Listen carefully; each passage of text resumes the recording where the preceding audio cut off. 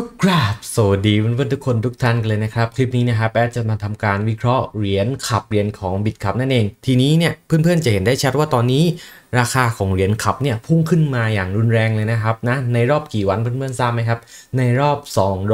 222 วันที่ผ่านมาที่ตัวของขับเนี่ยไม่ได้พุ่งแบบรุนแรงขนาดนี้ ทีนี้เนี่ยเดี๋ยววันนี้นะครับหลักๆ เลยที่จะพาไปดูก็คือจะพาไปดูว่า ในการที่ขับพุ่งขึ้นครั้งนี้เนี่ยเป็นการขึ้นจริงจัง หรือเป็นการขึ้นแค่หลอก เราจะมีเกณฑ์อะไรในการดูบ้าง และถ้าเกิดหาแผนในการเข้าเทรดเนี่ย จะมีแผนยังไงบ้างที่จะทำให้มันรัดกุม และเราไม่ขาดทุนในที่สุดนะครับผม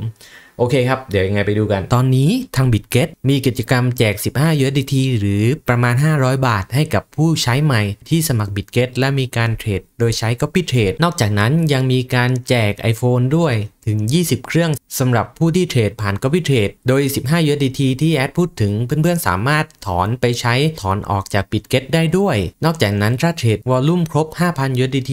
ก็จะได้เพิ่มอีก 30 USDT รวมถึงยังมีสิทธิ์ลุ้น iPhone ถึง 20 รางวัลเลย นั่นหมายความว่ามีโอกาสถึง 20 คนเลยที่จะได้รับ iPhone 14 Pro Max โดยวิธีการเข้าร่วมกิจกรรมก็คือให้เพื่อนๆ สมัครผ่านลิงก์ที่อยู่ใต้คลิปนี้นะครับโดยกดเข้าไปเลยนะครับที่ลิงก์แรกสมัครกระดานเทรด BitGet ให้เพื่อนๆสมัครนะครับโดยยใช้อีเมลหรือเบอร์โทรก็ได้นะครับ จากนั้นเข้ามาที่หน้าเทรด Copy Trade นะครับ และสามารถเทรดได้เลยโดยวิธีการใช้ Copy Trade เดี๋ยวจะแปะลิงก์ไว้ให้นะครับ เป็นลิงก์อันนี้นะครับด้านล่างเช่นเดียวกันนะครับ มองมานิดนึงจะมีสอนสมัครและใช้ Copy Trade รีวิวกำไรจาก Copy Trade EP 1 EP 2นะครับและตั้งค่าการใช้ Copy Trade ยังไงให้ได้กำไรต่อเนื่องนะครับ สามารถดูวิธีใช้ผ่านวิดีโอตรงนี้ได้เลยนะครับ หลังจากนั้นนะครับเพื่อนๆจะต้องกดมาลิงก์นี้นะครับนะ พื่อมาล็อกอินเพื่อรอรับ iPhone นะครับ โดยเดี๋ยวแอดจะแปะลิงก์นะครับสำหรับเข้าร่วมกิจกรรมเพื่อรับ iPhone 14 Pro Max ให้ด้วยนะครับ เนี่ยจะไว้ใต้คลิปนี้เช่นเดียวกันนะครับ กดไปที่ลิงก์ใกล้ ๆ เลย จากหน้าจอในตอนนี้นะครับ เพื่อนๆจะเห็นได้ชัดเลยนะ ว่าตัวของขับนะครับ มีการทะลุนะครับ เห็นจุดนี้ไหมเออมีการทะลุเส้น MA 200 ขึ้นมา ต้องบอกนะครับว่า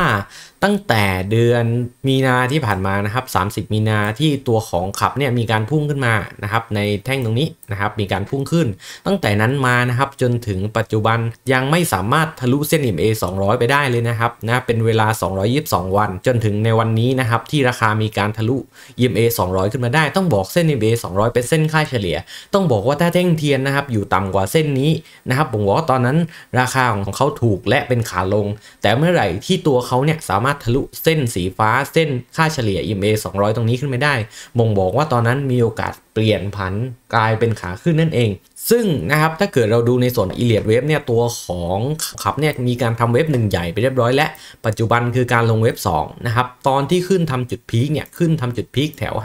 577 นะครับถ้าตอนนั้นเพื่อนๆที่ดูช่องแอดมาตั้งแต่ตอนนั้นเนี่ยจะจำได้เลยว่าแอดได้มีการวิเคราะห์ไว้ ว่าเขาจะขึ้นมาถึงประมาณ 590 บาท 585 บาท และจะกลับตัวและจริงด้วยในครั้งนั้นก็ถือว่าฟลุกๆกันไปนะฮะเพราะฉะนั้นครั้งนี้เนี่ยเดี๋ยวจะมาสารต่อให้จากเดิมนะครับ ซึ่งแอดเคยบอกกับเพื่อนๆไว้แล้วนะ ว่าตัวของขับเนี่ยมีโอกาสขึ้นไปถึง 1,000 บาท และครั้งนี้นะครับจะมาวิเคราะห์ต่อให้ว่าจะขึ้นถึงจริงๆไหมหากเป็นขาขึ้นนั่นเอง ทีนี้นะครับต้องบอกว่าเว็บ1ลงมาเว็บ2เนี่ยเราจะดูว่าจบยังไงเราจะต้องดูเว็บย่อยด้านในนะครับซึ่งแอดมองคร่าวๆว่าเป็นการลง A ขึ้น B ลง C อย่างนี้นะครับเนี่ย คร่าวๆที่มองนะครับ เพราะฉะนั้นถ้าเกิดเรานับ wave ด้านในเนี่ยนะครับจาก B มา C มักจะเป็นรหัส 5 ใช่ไหมจะเป็นการลง 1 ขึ้น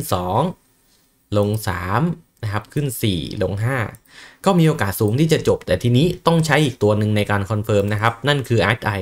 นะครับผม โดยปกติใช่ไหม wave 3 กับ wave 4เนี่ยนะครับจุดที่เป็น wave 3 wave 4 ตรงนี้ มักจะมีการทำลักษณะ bullet divergence นะครับนะหรือการที่ตัวของอ RSI เนี่ยมีการยกโลนะครับจริง ๆ ต้องยกโลขึ้นอย่างนี้ แต่ทีนี้มันไม่ได้ยกโลเพื่อนๆจะเห็นได้ชัดว่าเป็น convergence เพราะฉะนั้นสัญญาณในครั้งนี้เราอาจจะชะล่าใจมากไม่ได้นะครับอาจจะต้องใช้เกณฑ์ในส่วนอื่น ต้องบอกว่าการเกิดเป็น convergence อย่างเนี้ยมีโอกาสอยู่ที่ตัวของเขาจะเป็นการหลอกนะครับในภาพรวมทีนี้เดี๋ยวไปหาแผนกันดีกว่านะครับว่าถ้าเกิดจะเข้าเทรดใช้แผนยังไง และเป้าของเขาจะไปอยู่ที่จุดไหนนะครับผมโดยถ้าเกิดเราดูในส่วนเวฟใช่ไหมมันเหมือนจะมีโอกาสจบและ ทีนี้ถ้าเกิดจบจริงๆเนี่ยมันจะขึ้นไปเวฟ3 ต่อ เป้าหมายของเว็บ3อยู่ตรงไหนนะครับ ต้องใช้ flip retracement นะครับ retrace จากยอดของเว็บ 1 ลงมาจุดต่ำสุดที่เขาเคยทำคือ 15 บาท ตรงจุดนี้ยก 0%นะครับมาไว้ที่จุดกลับตัวล่าสุดนะครับ แถวประมาณ 40 30 40 บาทตรงนี้เลยนะครับ มองหา 161.8%นะครับ เลื่อนขึ้นนะครับ ขึ้นขึ้นขึ้นขึ้น161.8%ในการที่จะขึ้นทำเว็บ 3 นั่นคือ 966 บาท นี่คือเรื่องจริงนะครับ ก็คือถ้าเกิดขึ้นทำเว็บ3เนี่ยสัดส่วนขั้นต่ำที่จะเป็นเว็บขยายนั่นคือ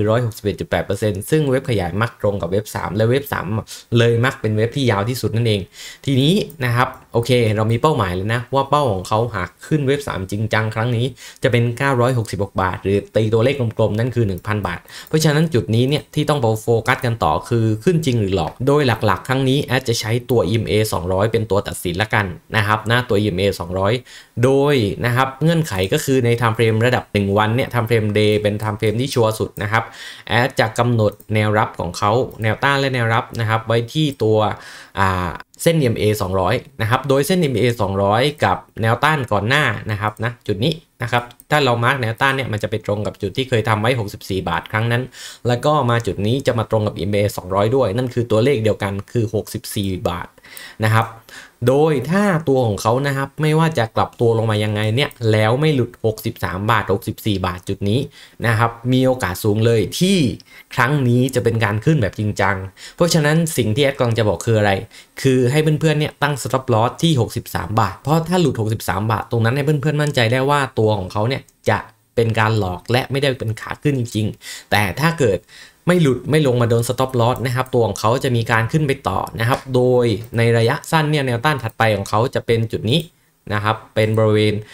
115 บาทนะครับ114 115 บาท และหากหลุด 114 115 บาทไปได้เนี่ยแนวต้านถัดไปอีกจะเป็น 22 บาท 21 บาทตรงนี้เลยนะครับผมนี่คือแนวต้านแต่ละแนวต้านนะครับ โดยถ้าเกิดดูเป็นเวฟสั้นอ่าระยะสั้นนะครับ ก็จะเป็นลักษณะของการขึ้นทำเวฟหนึ่ง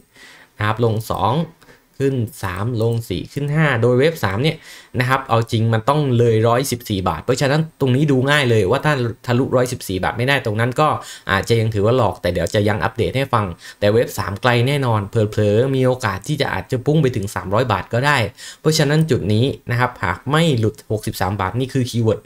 ของวันนี้เรื่องนี้นะครับ โดยแอดมีเป้าหมายไว้ในใจว่าหากเป็นขาขึ้นจริงจังอาจจะไปถึง 900 กว่าบาทได้นะครับนะก็ประมาณนี้นะครับ หวังว่าคลิปนี้จะเป็นประโยชน์ให้กับเพื่อนๆนะครับ หากเพื่อนๆรักหรือถูกใจฝากกดไลค์กด subscribe เป็นกำลังใจกับช่องของแอดด้วยนะครับบ๊ายบาย